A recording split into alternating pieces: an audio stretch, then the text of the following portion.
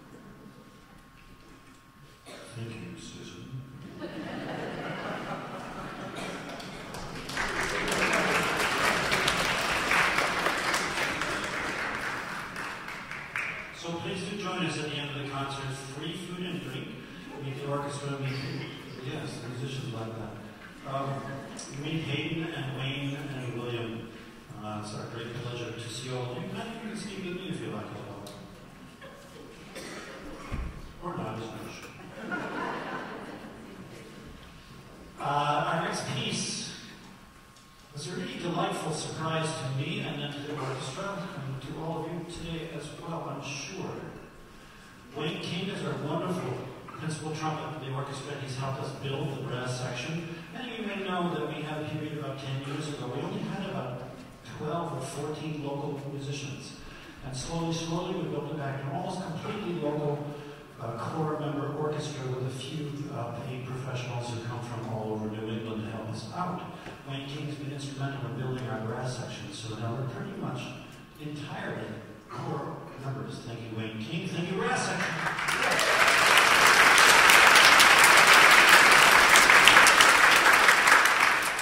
As a way of saying thank you, I've looking for something to do as a collaboration with Wayne for the last couple of years. And so I asked him last season, I said, Wayne, would you like to play solo this year? He said, absolutely.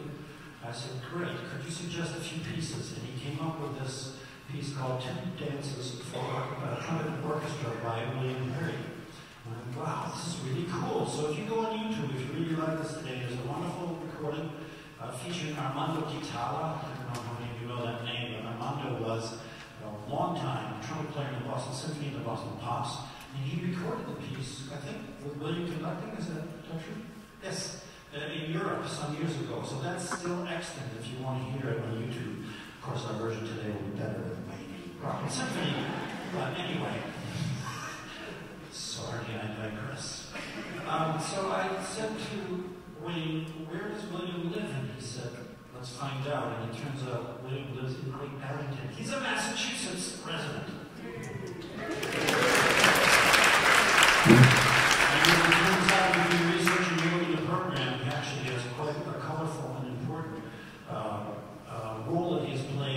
Film music and various other types of composition around the world, some of the major orchestras here in the United States as well. So this was a great surprise to all of us. And even better, we found out that this is a United States premiere piece. It was actually premiered overseas. So you're all here to witness the birth of this piece with a full orchestra version right here in Brockton today. And joining us is a delightful pleasure and privilege to please welcome William Perry to speak about his music.